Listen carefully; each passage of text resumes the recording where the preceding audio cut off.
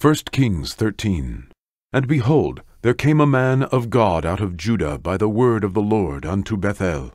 And Jeroboam stood by the altar to burn incense. And he cried against the altar in the word of the Lord, and said, O altar, altar, thus saith the Lord, Behold, a child shall be born unto the house of David, Josiah by name, and upon thee shall he offer the priests of the high places that burn incense upon thee, and men's bones shall be burnt upon thee. And he gave a sign the same day, saying, This is the sign which the Lord hath spoken. Behold, the altar shall be rent, and the ashes that are upon it shall be poured out. And it came to pass, when King Jeroboam heard the saying of the man of God, which had cried against the altar in Bethel, that he put forth his hand from the altar, saying, Lay hold on him. And his hand, which he put forth against him, dried up, so that he could not pull it in again to him. The altar also was rent, and the ashes poured out from the altar, according to the sign which the man of God had given by the word of the Lord. And the king answered and said unto the man of God, Entreat now the face of the Lord thy God, and pray for me, that my hand may be restored me again. And the man of God besought the Lord, and the king's hand was restored him again, and it became as it was before.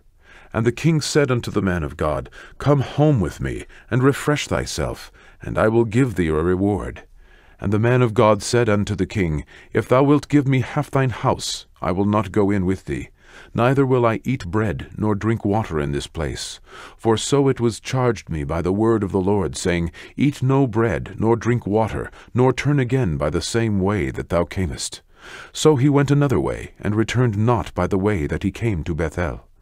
Now there dwelt an old prophet in Bethel, and his sons came and told him all the works that the man of God had done that day in Bethel.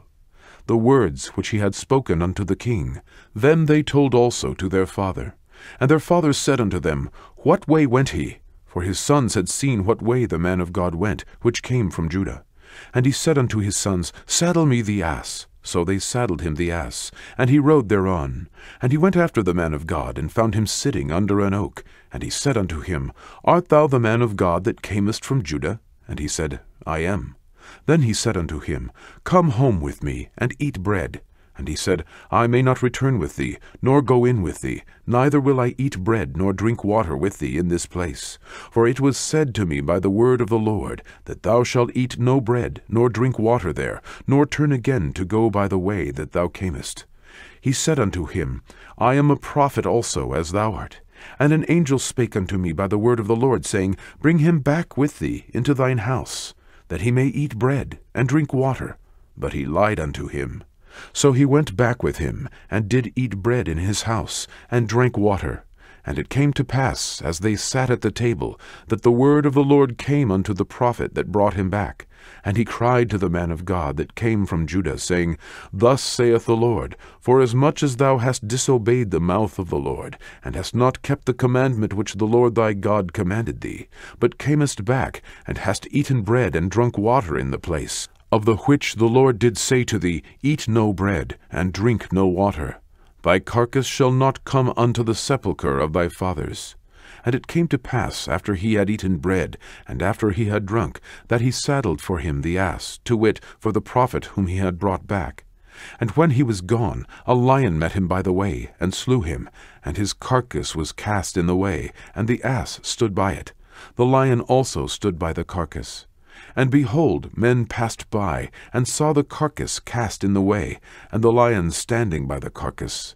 And they came and told it in the city where the old prophet dwelt. And when the prophet that brought him back from the way heard thereof, he said, It is the man of God, who was disobedient unto the word of the Lord.